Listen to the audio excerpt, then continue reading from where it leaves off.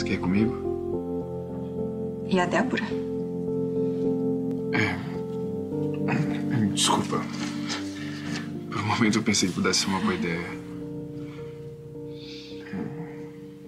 Eu posso ficar?